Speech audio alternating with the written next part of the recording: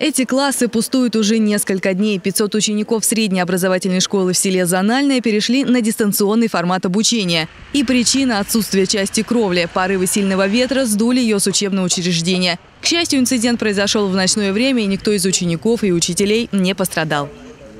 Руководство школы довело до родительского комитета, соответственно, дальше информация пошла о том, что поступила необходимость все-таки уйти на дистант с 23 по 24 ввиду безопасности все-таки наших детей. Очень бы хотелось, чтобы все вернулось на свои места, очное обучение, чтобы оно проходило в безопасности. Надеемся, что благодаря приезду к нам высокопоставленных чиновников, процесс будет еще более быстрым. Хорошо ли крыша была закреплена, когда ее полностью восстановят и ученики вернутся к прежнему режиму обучения? Эти вопросы ответственным лицам сегодня лично задавал заместитель прокурора России Дмитрий Демешин. Удару стихии подверглось огромное количество учреждений образования.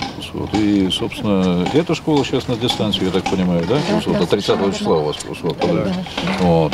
И прокурор следит, конечно, этот вопрос. Надо посмотреть, э, если огромное количество учреждений социально значимых вот, у нас э, дестабилизированы свои функции, значит, есть проблема системного характера. Ее надо нормативно урегулировать. Может быть, посмотреть, чтобы не скапливался конденсат. Может быть, действительно обрешетку по-другому делать. Также заместитель прокурора России поднялся на саму крышу, проверил, не прогнили ли гвозди и насколько хорошо закреплены балки. По сути, поставил 10 э, э, вот этих подпорок, которых не было. Ну вот вам получается, что обрешетка лежала просто под своими, вот, э, своей тяжестью. И поэтому э, сильный порыв ветра ее просто взял и сорвался. Чтобы впредь не срывало, подрядчик должен тщательно продумать конструкцию и в течение 10 дней полностью восстановить кровлю в школе в селе Зональном и вернуть учеников к прежнему режиму обучения. Олеся Бедарева, Илья Питков. Будни.